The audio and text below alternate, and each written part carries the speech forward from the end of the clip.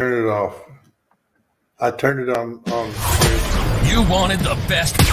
You've got the best podcast, the hottest, hottest podcast in the world. In the world. The Chris Voss Show, the preeminent podcast with guests so smart you may experience serious brain bleed. The CEOs, authors, thought leaders, visionaries, and motivators. Get ready, get ready. Strap yourself in. Keep your hands, arms, and legs inside the vehicle at all times, because you're about to go on a monster education roller coaster with your brain. Now, here's your host, Chris Voss. Hi, folks. Chris Voss here from the ChrisVossShow.com, the ChrisVossShow.com. Welcome to the big show, my friends. We certainly appreciate you guys coming by today. today, we have an amazing author on the show. Uh, he's going to be talking to us about Lee Harvey Oswald. You may have heard of him. Uh, you know, recently we found out that uh, through QAnon that I guess uh, the government's being run by John F. Kennedy and John F. Kennedy's son, which I don't know, John F. Kennedy would be like, what, 110 or I don't know. What he would be. But uh, that craziness uh, conspiracy aside, uh, we'll be talking about the Oswalds, uh, and uh, this will be really interesting story and historical stuff. And we'll also be talking about the recently released John F. Kennedy files uh, from uh, his assassination and stuff that the government's been keeping under wraps all this time. We're still wondering why, because everyone would like to know the truth and maybe that would be just better just to let all. So we're talking to him in a bit. But in the meantime, eh, you know the drill. The family that loves you but doesn't judge you, the Chris Voss Show. Uh, go follow them on YouTube, uh, Twitter, Instagram, TikTok, all those crazy places, including LinkedIn. Our big LinkedIn newsletter over there as well. Uh, he is the author of the newest book that just came out November fifteenth, twenty twenty two, The Oswalds: An Untold Account of Marina and Lee. Uh, we have Paul R. Gregory on the show with us today. He's going to be talking to us about his amazing insight to his book, and uh, I think you'll be in. Uh, you, I think you'll be very interested. I am. As soon as I saw it, I was like, I gotta get this guy on the show. I gotta find out what's going on with this book and what the details are. Uh, Paul Gregory is a research fellow at Hoover Institute at Stanford University. He holds a PhD in economics from Harvard. He's written on the economy of the Soviet Union and the USSR under Stalin. He is an author of some 40 books, count them. His latest being The Oswalds, the uh, untold tale of Marina and Lee. Uh, so, welcome to the show, Paul. How are you? I'm doing fine. Looking for looking forward to our conversation. So am I, and here we are. Uh, give us your dot .com so people can find you on the interwebs or wherever you want people to learn more about you. Well, that's a very good question. Um, I'm paulrgregory.net. That's oh. the homepage of the book. So I would direct uh, your listeners there. paulrgregory.net. Uh, dot .net. there you go. So you've written over 40 books. Wow, that's quite extraordinary. Well, um, you might notice I'm not a, a youngster. And so if you spread that over a 50, 50 or 60 year career, it's um, somewhat less impressive, but I'm impressed by it. And uh, I think you should be. There's what I did is pretty good, so I'm happy about that. You should be. You should be. It's quite a body of work. I mean, I wrote my first book at 54, 53. So at my pace, I'll have another one out at 106 or 108, one of those two. so you're you're doing much better than I am. So what motivated you want to pick up and write this book on uh, the Oswalds? Well, uh, the main motivation is the fact that I'm one of the few left who knew Lee and Marina quite well. You did? Yes, I'm wow. uh, from from Fort Worth, Texas, mm-hmm. uh, originally. Mm-hmm. Uh, at the time, I was a student at the University of Oklahoma, and there was an item in the paper: uh, Marine defector returning to Fort Worth with Russian wife that mm-hmm. kind of um, alerted me to something. Mm-hmm. My father is Russian, so our family is Russian, one could say. He taught Russian at the public library mm-hmm. uh, as a volunteer, and Lee and Marina came to back to Fort Worth. They were staying with bro- his brother Robert, mm-hmm. and Lee decided he needed a certification that he was proficient in Russian and the one place to go for that uh, in Fort Worth was my father's office. wow. in the Continental Life building. So uh, my father got a call from the employment agency. There's a young guy coming by. It was Lee dressed in a woolen uh, suit, uh, probably bought in Minsk, uh, and the temperature outside was 100. So that was uh-huh. not pleasant for him. And uh, my father uh, had, had him read a passage or two from a book. They had a little conversation, and he he he did give Lee this certification that he's proficient in Russian, but warned him there aren't, aren't any jobs in Fort Worth in 1962 for Russian speakers. But that was how we got acquainted. When Lee left, he left uh, his brother's phone number, and as a consequence of that, my father and I went over to their house, uh, at least Robert's house, and met Marina. Wow. And so you you you end up being a close friend of Lee Harvey Oswald. That's a good question. Uh, how to characterize it? Friend can mean someone you know. it can also mean someone you know and like.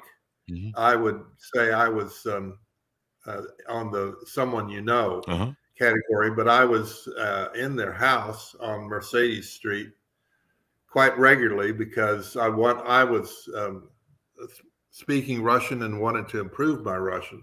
Uh-huh. And and Marina was fresh from the Soviet Union and uh, someone to speak with and learn about uh, uh, uh what was then uh, contemporary Russian Russia. So um, I would go over to their house two three times a week for about a month and a half. And in that period of time, I got to know them pretty well, I would say.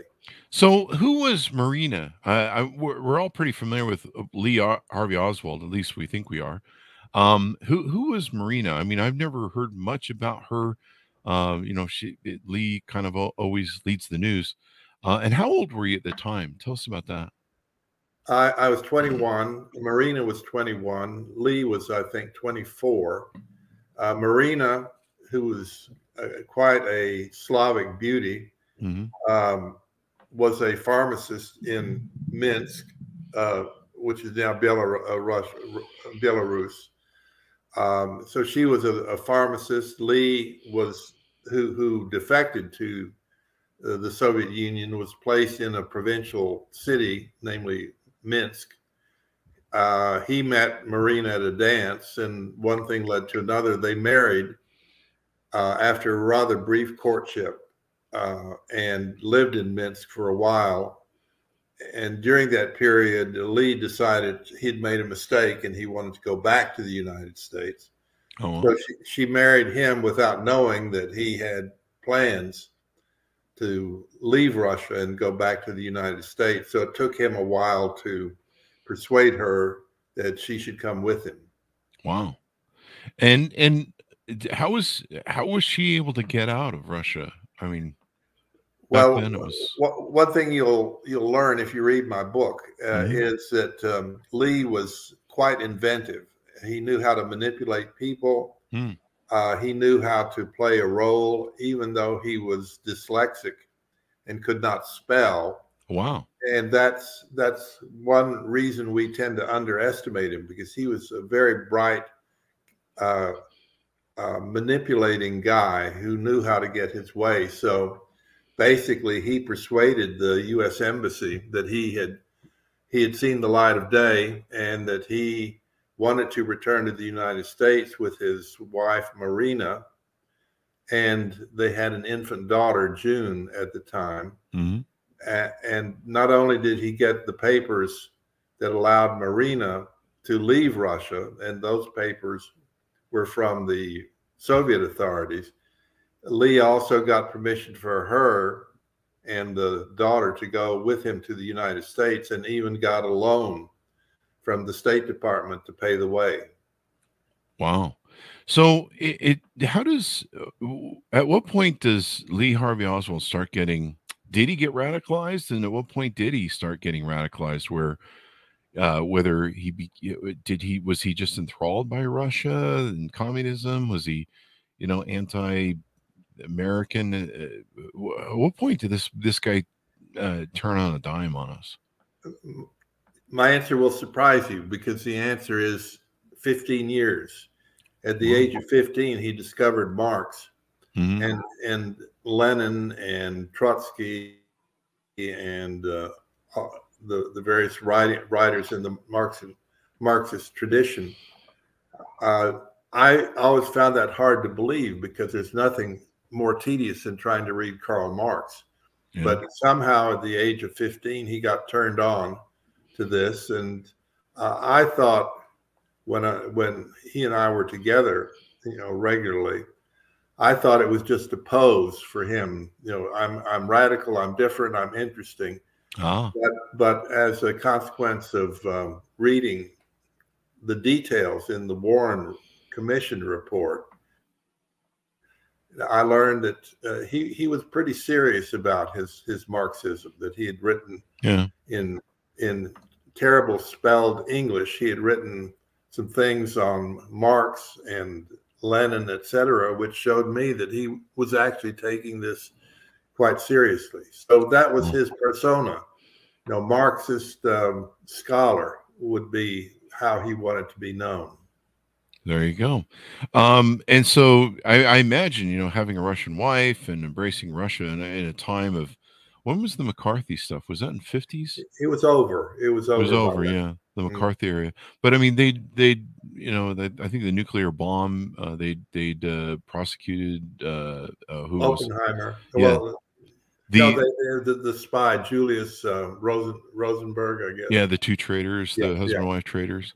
Um, so there's still a lot of anti uh, Russian sentiment and suspicion over Russia going on. I mean, I grew up in the 70s. We were still hiding under our desks from the USSR.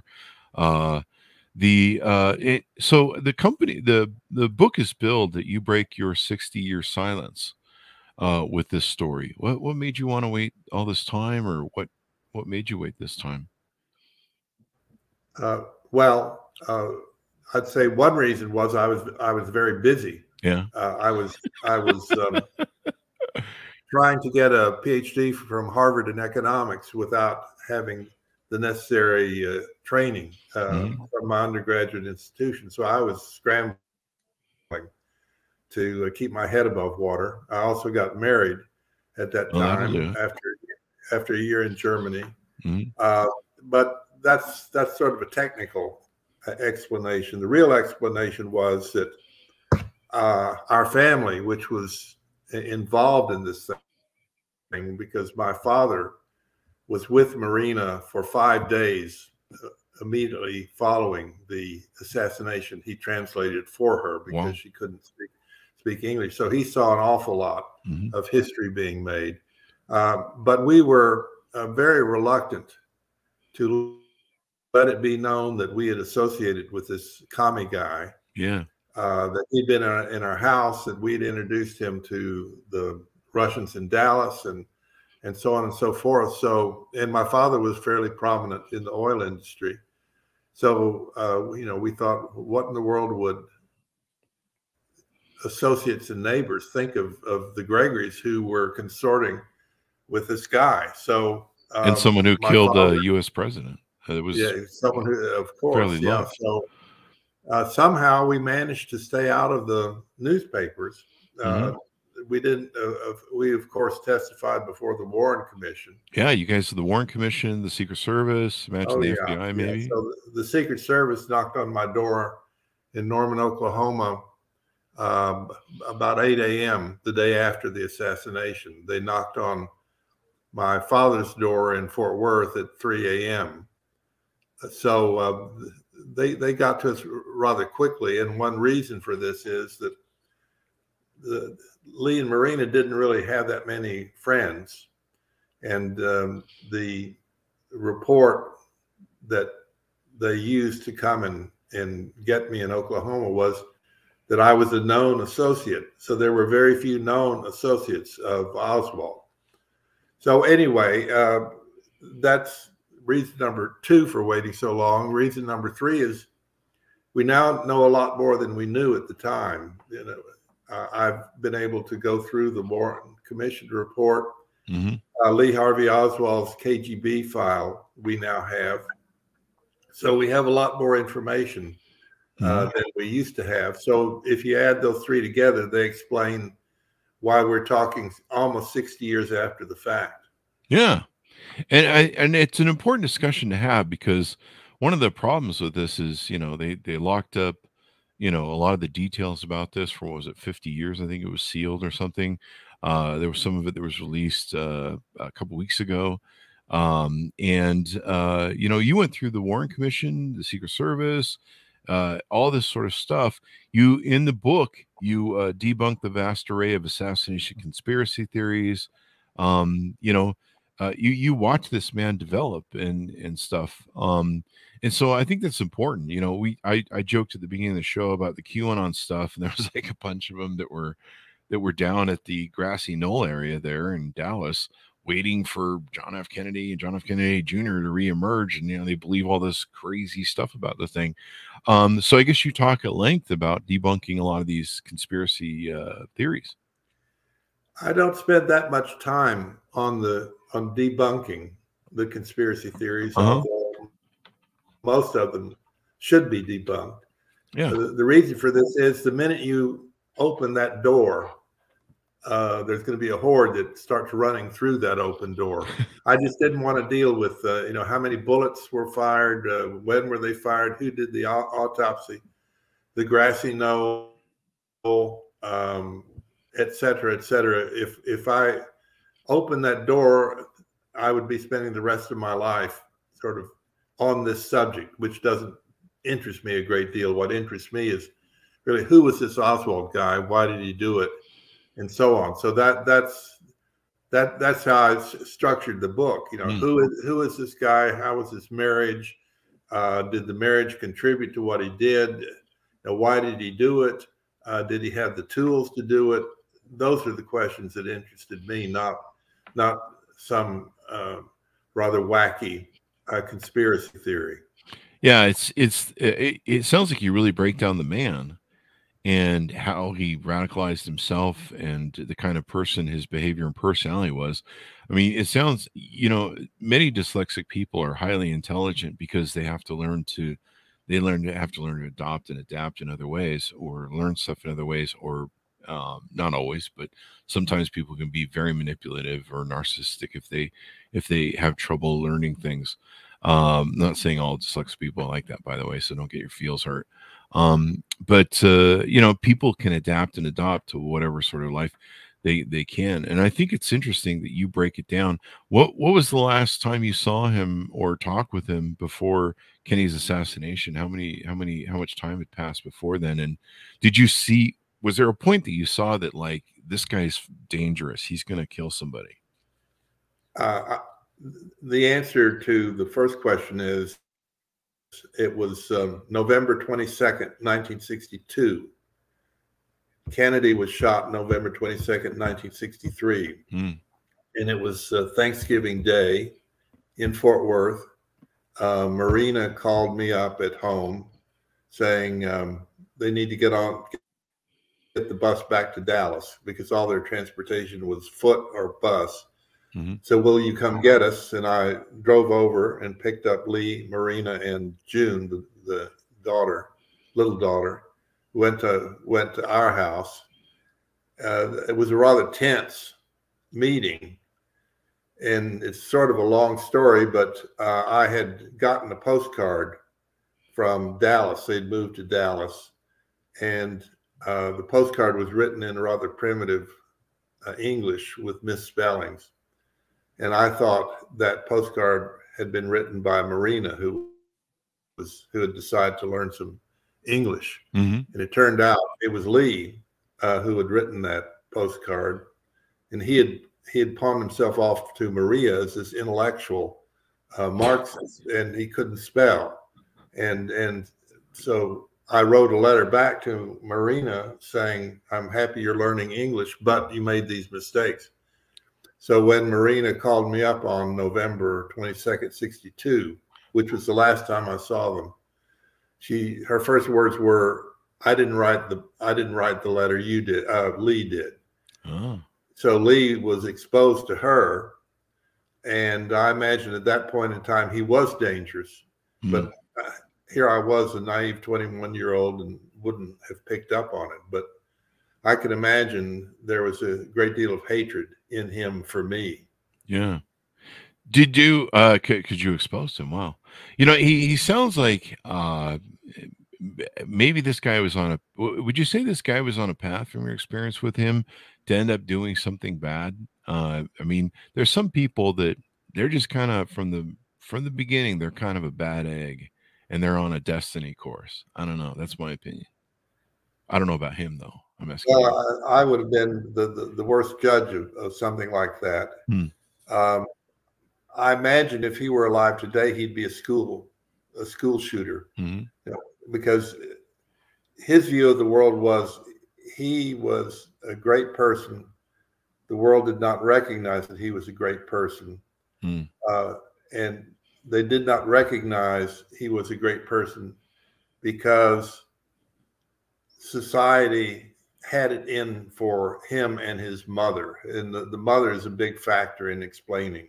Really? Lee Harvey Oswald. She was a, a monster.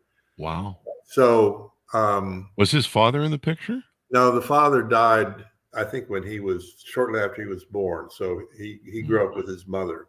Well, that explains a lot. That's usually what a lot of school shooters have issues there.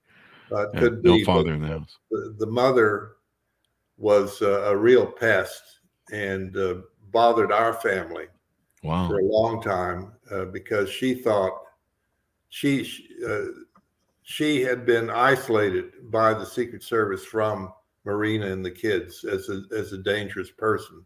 Wow. So the mother thought that we were the ones who were hiding Marina and the kids, and so she kept phoning and uh, pestering us about this. So you're you're right. Uh, in order to really understand him, you have to understand his mother, whom he hated. He wouldn't allow the mother in the house. Wow. Uh, and I think he hated her because he saw himself in her. And I'm not a psychiatrist, so it's a that's a a novice's uh, belief. Well, we grow up we grow up becoming more like the people that we're surrounded by. So most people become like their parents. In fact, they recreate their relationships from the relationships their parents had to try and resolve them subconsciously. Uh, and uh, that's really interesting that insight that you gave to to to the to the mother. Um, and and most school shooters have either an absentee father. This has been documented in several books uh, in fact, uh, the boy crisis is one of the big ones. But a lot of these boys that are raised in emotionalism and don't have a strong alpha father in the home or around are school shooters. There's it's just these boys are lost in emotionalism and don't have testosterone around. Um, so uh, this is really interesting, man. You you expose a lot, man. This is a great book on getting to know in depth everything. Um, the the uh, is there a point that you feel he becomes a killer? Did he have a real thing for Kennedy? Did he? Did you see any of that in inklings in your? With with with respect to Kennedy, uh, I heard nothing but good things from wow. them. Um, Marina,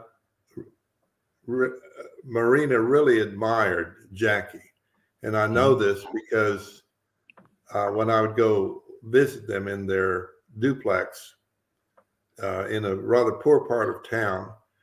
Uh, on the coffee table, they had the Time magazine issue where Kennedy was the man of the year. Oh. And so that gave me occasion to um, to ask Marina and Lee, you know, have you heard of the president? Uh, you know, what do you think? If you've heard of him, and Marina was quite fascinated by uh, JFK, uh, she she had seen pictures of the kids, and she, and she ventured that uh, Jackie must be a very good mother. So I only heard good things hmm. about uh, Kennedy from Marina. From and Lee seemed to you know shake his head and uh, agree. Hmm. So there was no evidence of any hostility towards uh, Kennedy. In fact, when Lee shot Kennedy, he he he would have realized that he was really uh, going to destroy his wife, you know, who was this admirer hmm. of Kennedy. So I imagine he thought that over. It's just a guess. I, I wonder if uh, you know that, that makes me think kind of interesting if maybe maybe you know Kennedy was a, a good-looking man. A lot of women adored him.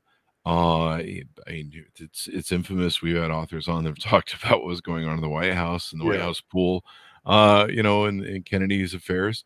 Um, the you know, he was a good-looking man, and he was uh, charismatic, and and uh, women liked him. Uh, I'm wondering if some of it was a bit of jealousy that his wife liked Kennedy and maybe it was you know i'm taking out another man to do the thing or did, did do you think maybe i mean this is all you know we're, we're just kind of throwing around theories do you think maybe it was part of that built into some sort of political thing or or i don't know it sounds like a really complicated convoluted situation no his the, motivation it'd be speculative on my part and on your part to yeah. to think that way so yeah. um i kennedy Kennedy happened to be the wrong wrong place at the wrong time. Wow. Uh, that's and you know because Lee had narrowly missed assassinating the leader of the Dallas right wing community, General. Um, uh, what's his, what's his name? General, whatever. Uh, he was uh, a leader of the John Birch, uh, uh, General Walker. He was a leader of the John Birch Society in Dallas, and, and much of Dallas's reputation as being super, you know, right radical came from Walker. And so uh, Oswald, after he had ordered his assassination weapon, uh, staked out the Walker house in Dallas for a couple of weeks and uh, took a shot at him one night, just narrowly missed. Mm-hmm. So, so, there's no doubt that uh, Oswald w- was a killer. Uh, and people forget that he he'd come very close to to killing a prominent uh, political figure. So that that answers one of the questions: Was he a sort of a born killer? And the answer appears to be yes.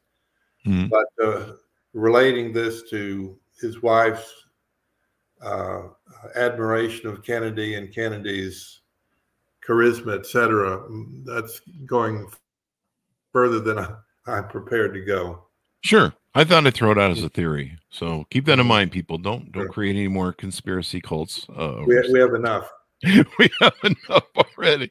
I just when I saw the QAnon people and they're like, John F. Kennedy's coming back. In fact, I've seen some videos where they believe John F. Kennedy's actually running the thing. It's like, do you have you done the math on how old he would have to be like there's no one that I mean I think John was uh, John F. Kennedy was on was in his 60s when he was no killed? I think he was mid 50s, but I could be wrong so he he'd be a hundred plus. Be 120 or 10 or something. yeah. Like uh, you know they complain about uh, you know presidents that we now have in the last two have been in their 70s that aren't quite with it. So uh you know come on. So this is really interesting. I i i've i've been fascinated by kennedy's uh, by Kennedy and Kennedy's legacy. We've had a number of authors on the show have written about his uh, all sorts of different aspects of his life, even his wife's life. Um, and you know, people are just endlessly fascinated by this period of time, and and I and I think it's uh, appropriate because you know it it was it, we were we were robbed of a president that was uh, you know likely loved. Um, I think one of the things that came out of the the two weeks ago, I think it was the um, more stuff was exposed or or put out by the government and uh, Biden from uh, on what was going on at the time. And I, I, think there was an inkling or a hint or a discussion that the FBI knew and was aware of Oswald and the danger of Oswald. And it's possible that Hoover looked the other way because of Hoover's interests on on you know he, he wasn't a big fan of the Kennedys, as you know. Um, and I think that's pretty much public knowledge. Um, what any thoughts on that or well the, what my father witnessed and this was in the aftermath of the assassination where he was uh, high where they were hiding out in the six flags inn mm-hmm. between uh, dallas and fort worth with the secret service marina and and the mother marguerite um, what he what he saw was a very bitter enmity between the Secret Service and the FBI. In fact, mm. the Secret Service would not tell the FBI where where a Marina was being wow. held. So the FBI had to come to my father's office and try to dig out of him, you know, where they were holding Marina. But this enmity, I think, was due to the fact that the Secret Service, which was very close to the president, you know, they're with him every day, mm-hmm. felt that the FBI had had dropped the ball on Oswald because at that by that time they knew that he had been in Mexico City and had been in the Soviet embassy, which and this is the the, the, the foundation of virtually all conspiracy theories. That trip to Mexico City, but the Secret Service thought that they'd lost their president due to the incompetence of the FBI, and it was okay. uh, my my father saw this enmity, you know, firsthand. Mm-hmm. Interesting. I mean, it's. I really wish they quit hiding all this stuff. Like they, they're evidently there's still, still some stuff they won't release, and and it's like just release it already. You're causing so many people to come up with stupid conspiracies. But I think this is really interesting. You've broken your silence on it, share it with the world. I think it's. uh I think it's definitely due and uh, it's always topical with the Kennedys. I mean, we'll probably be talking about the Kennedys and the, the Kennedy administration, you know, until we we're still talking about Abraham Lincoln, and Lincoln's a, a big part of uh, history books and everything that's written. So, you know, having a president lost in I think I think in some in some sort of subconscious mode of us as a country, we kind of go, what would have been like if we kept that president? We know this country would be very different if uh, if Abraham Lincoln had lived and been able to finish his agenda. Uh, you know, Jim Crow and everything grew out of uh, his assassination, and the country flipped back. Um, you know, certainly a lot of dark things happened, especially with Vietnam and other things uh, when Johnson took over, and um, uh, you know, I, I think I think somewhere in the back of our mind we have questions where we just go, why did this happen? How did it happen? How can we keep it from happening again? Um, you know, we saw a lot of attempted assassinations of Ford in the 70s. I remember. Uh, I think just about every president's had Reagan. Something. Reagan, of course. Someone, someone even took a shot at Carter from from about a block away, though. Yeah, yeah and uh, and I think there's been lots of attempts that go on. I think Obama had the largest amount of threats against him than any president in probably ever history. Uh, and so you know, this is one of these things where you know we we don't want to have anything happen to our presidents and their legacy of what they are. At least uh, I guess if you're vested as a voter. But you know, there's a there's this is these are the people that we deem to carry the um, torch for four to eight years of our democracy and and uh, we certainly don't want a foreign government of course you know the, the, the implication with lee and cuba there was a big cuba thing and you know the russian thing and we're like we don't want you know people from other countries uh, influencing or causing our leaders to be assassinated. So it's always just interesting. Anything more you want to tease out of the book before we go? No i think the we I mean, we, we, could go on for a couple more hours and still not exhaust everything. But I think we've covered, we want people to go buy the book. Yeah, yeah. no, we've we've we yeah we, have covered uh, I'd say the main the main points. Mm-hmm. And I appreciate your having me on, and uh, I hope others will find this conversation interesting and be motivated to to buy the book, which is The Oswalds. Um, and so I'm just just pleased to get it out. I'd say the one one thing I'd end with is you were asking me why I wrote this book 60 years after the fact, and it was I'm at Hoover Institution, which has some very good historians, and um, they said, you know, you've seen some, you've seen a, you've seen history, so it would be a, a it would really be a black mark if you were not to write this stuff down. So I'd say that was the most persuasive argument right there. There you go. Yeah, I, I think it really helps by shining a light onto this sort of stuff. It can help find all these crazy conspiracies and stuff that go on.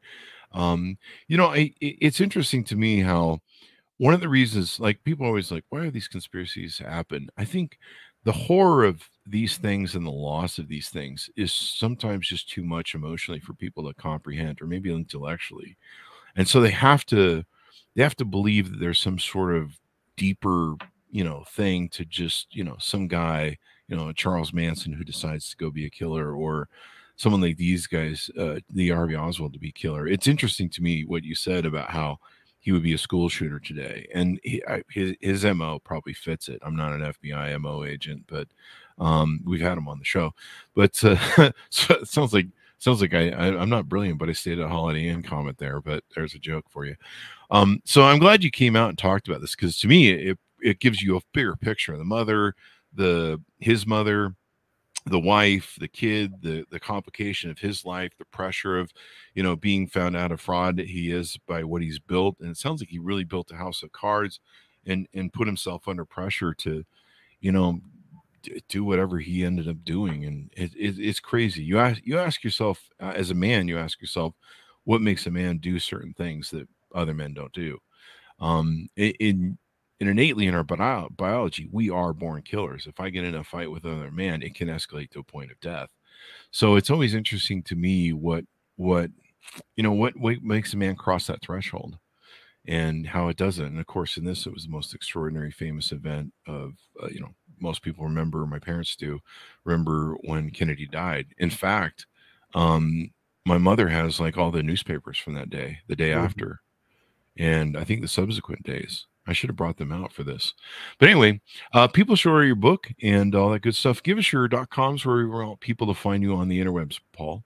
Okay, well, Paul R. Gregory, no spaces, at, uh, excuse me, Paul R. Gregory dot net.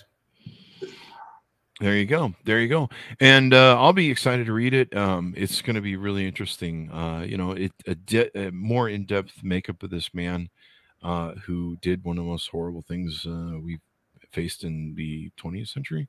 Uh, so thank you very much for coming on, Paul. We really appreciate it. Thank you, and uh, I've enjoyed it. Thank you very much.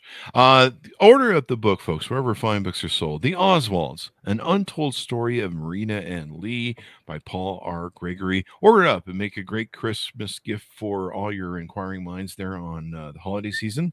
And uh, just a great read, especially if you've been following John F. Kennedy for as long as I am.